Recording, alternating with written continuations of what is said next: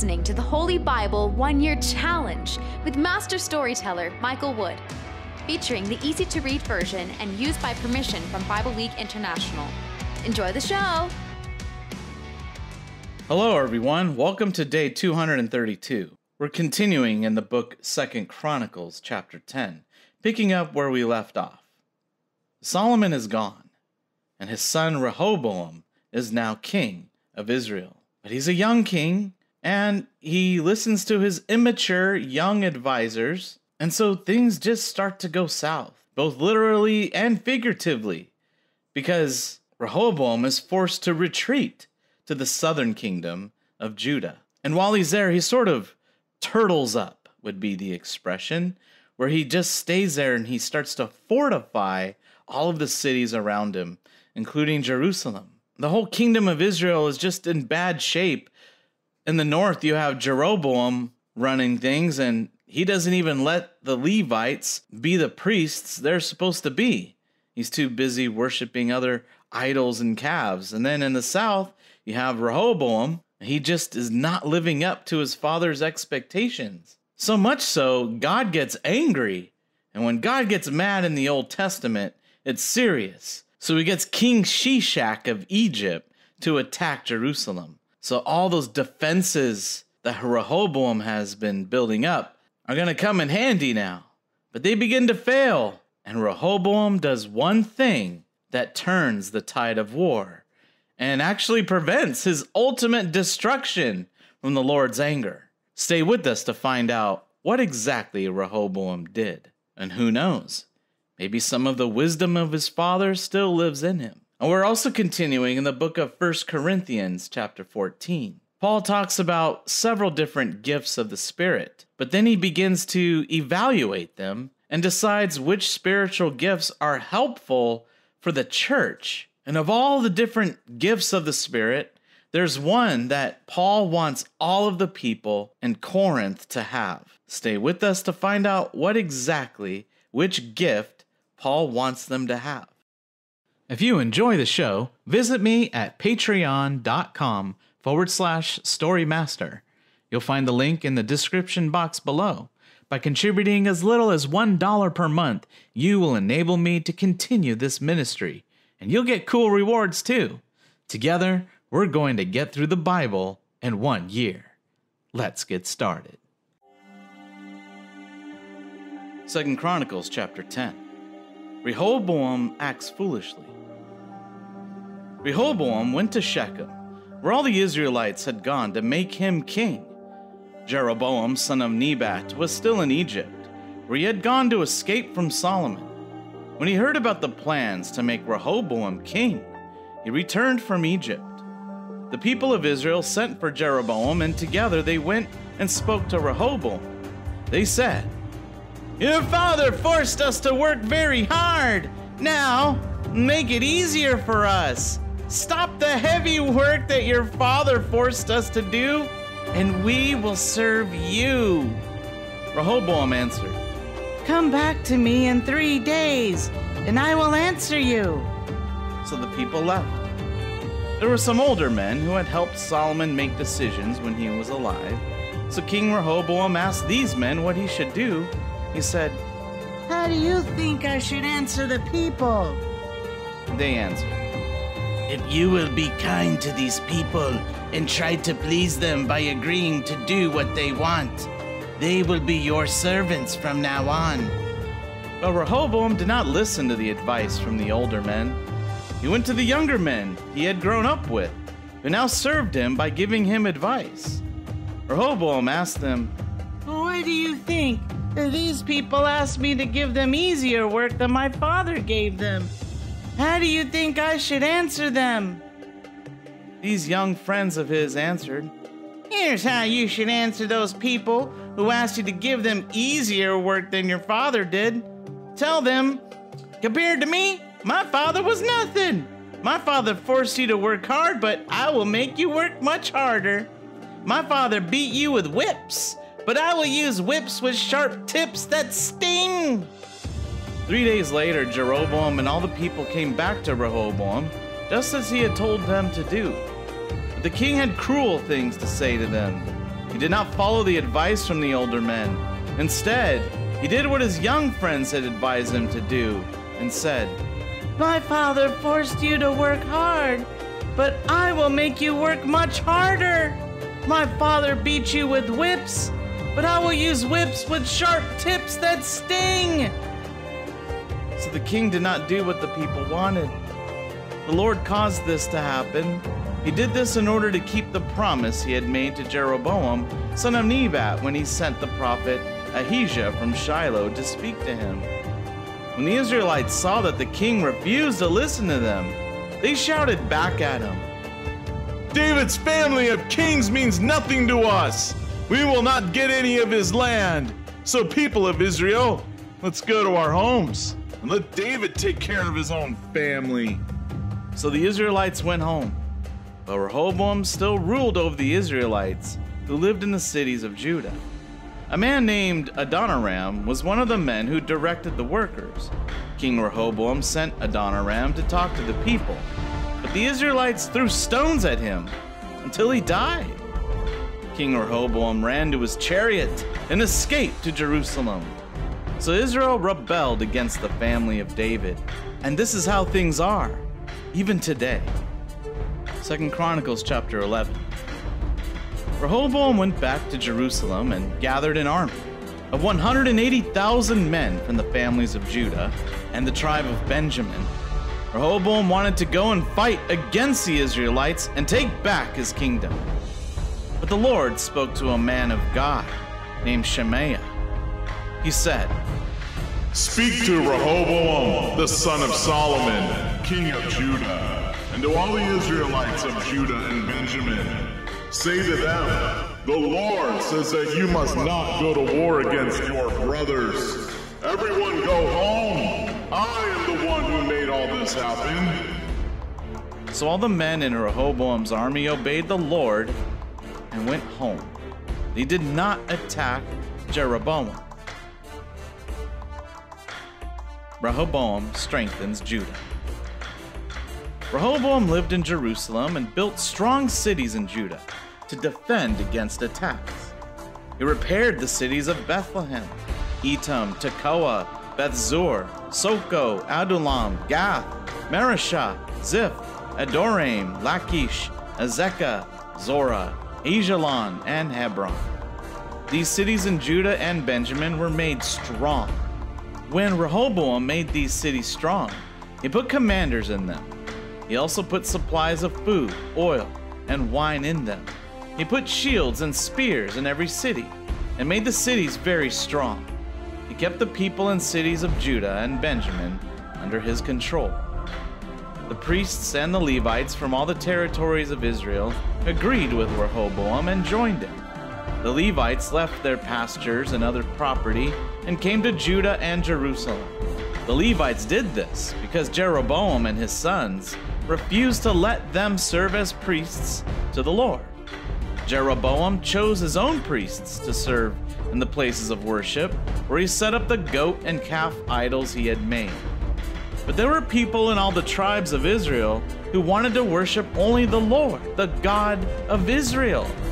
So when the Levites left Israel, these people went with them to Jerusalem. There they could offer sacrifices to the Lord, the God their ancestors worshiped. These people made the kingdom of Judah strong, and they supported Solomon's son Rehoboam for three years. They did this because during that time they lived the way David and Solomon had lived. Rehoboam's family. Rehoboam married Mahalath, the daughter of David's son Jerimoth. Her mother was Abihail, the daughter of Jesse's son Eliab. Mahalath gave Rehoboam these sons Jeush, Shemariah, and Zaham. Then Rehoboam married Maacah. Maacah was Absalom's granddaughter, and Maacah gave Rehoboam these children Abijah, Attai, Ziza, and Shelomith. Rehoboam loved Maacah more than he loved all his other wives and slave women. Rehoboam had 18 wives and 60 slave women. He was the father of 28 sons and 60 daughters. Rehoboam chose Abijah to be the leader among his own brothers. He did this because he planned to make Abijah king. Rehoboam acted wisely and put his sons in charge of the strong cities. He sent a son to each of these cities in all the areas of Judah and Benjamin, and Rehoboam gave plenty of supplies to his sons. He also looked for wives for them.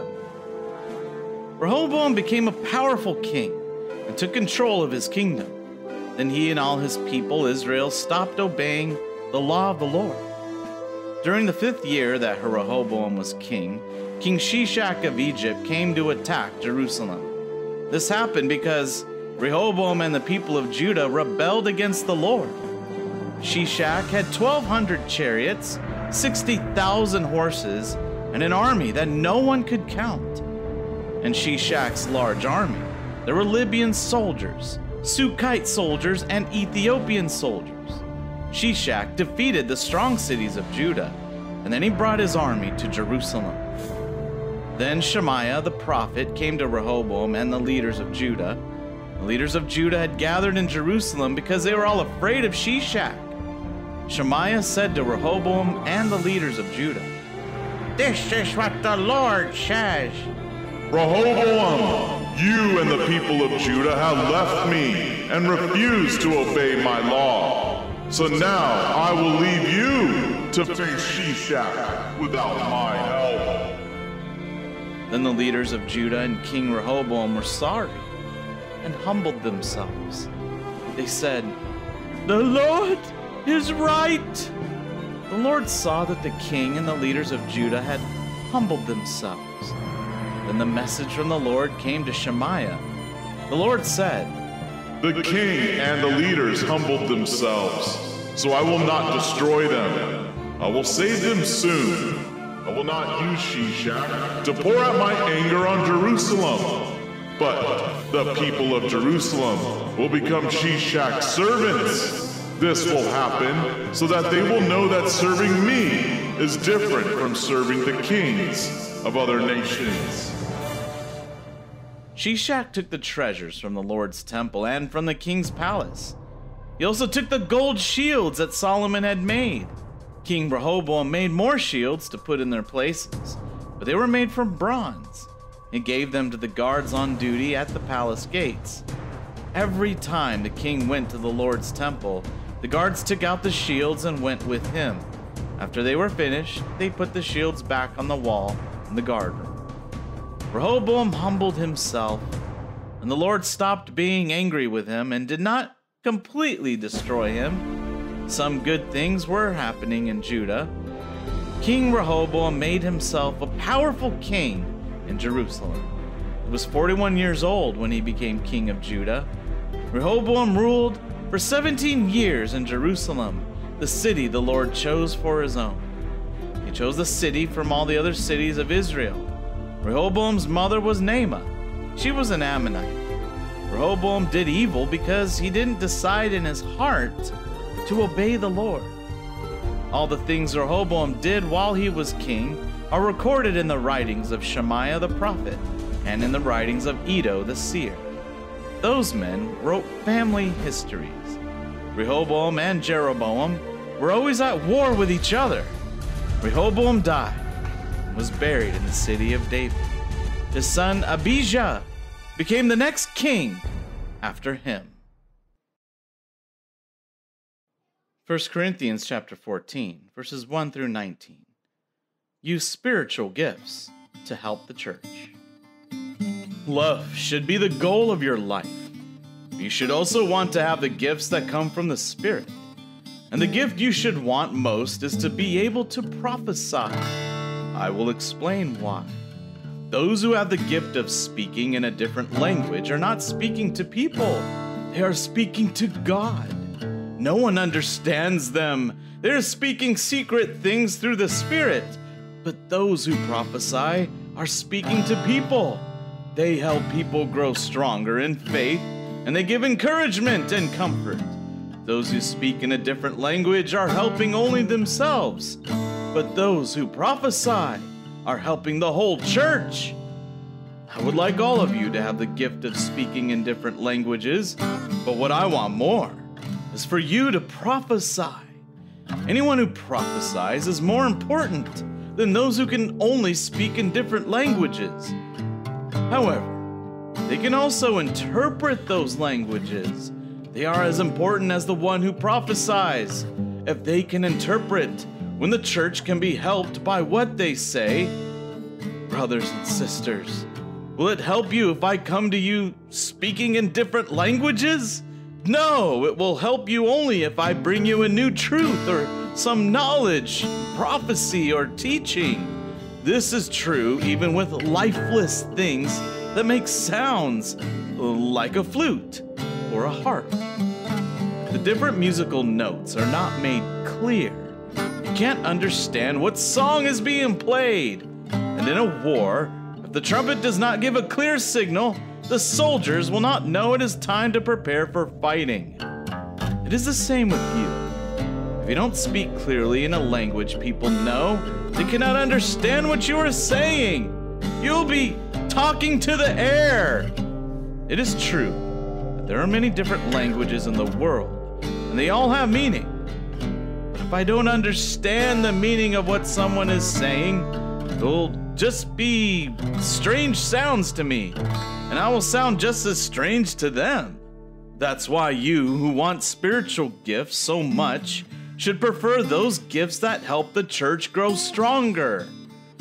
So, those who have the gift of speaking in a different language should pray that they can also interpret what they say. If I pray in a different language, my spirit is praying, but my mind does nothing. So, what should I do? I will pray with my spirit, but I will also pray with my mind. I will sing with my spirit but I will also sing with my mind. You might be praising God with your spirit, but someone there without understanding cannot say amen to your prayer of thanks because they don't know what you are saying. You may be thanking God in a good way, but others are not helped. I thank God that my gift of speaking in different kinds of languages is greater than any of yours. But in the church meetings, I would rather speak five words that I understand than thousands of words in a different language. I would rather speak with my understanding so that I can teach others.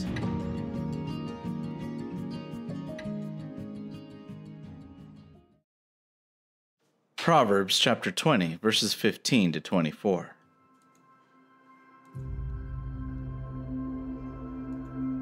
Wise words are like precious jewels. They are worth more than gold or rubies. Anyone who promises to pay the debt of a stranger deserves to lose the coat given as a guarantee. Stolen food tastes sweet at first, but it turns to sand in your mouth. Get good advice when you make your plans. Before you start a war, find good advisors. A gossip will not keep your secrets, so avoid people who talk too much. Those who would curse their father or mother are like a lamp that goes out on the darkest night. If your wealth was easy to get, it will not be worth much to you. Don't ever say, I'll pay them back for what they did to me. Wait for the Lord to make things right. The Lord hates for people to use the wrong weights to cheat others. It is wrong to use scales that are not accurate. The Lord guides our steps, and we never know where He will lead us. Thank you, everyone. That was day 232. Join us for day 233. We're continuing in the book of Second Chronicles. And in chapters 13 through 15, we see war between the North and South. And at one point, church and state become one and the same, where people who do not worship the Lord are executed. This is some radical, God fearing orders, and yet, when these orders are put into play, God blesses them.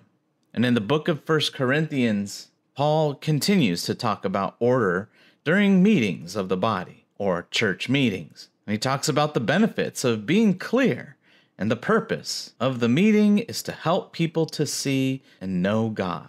Oh, and by the way, Paul says the women during the meeting are to be quiet. And if they have a question, they can ask their husband at home. We hope you enjoyed today's verses. Be sure to leave us a positive review and to share this podcast with your friends and family. Please join us for the next episode as we experience the Bible in one year.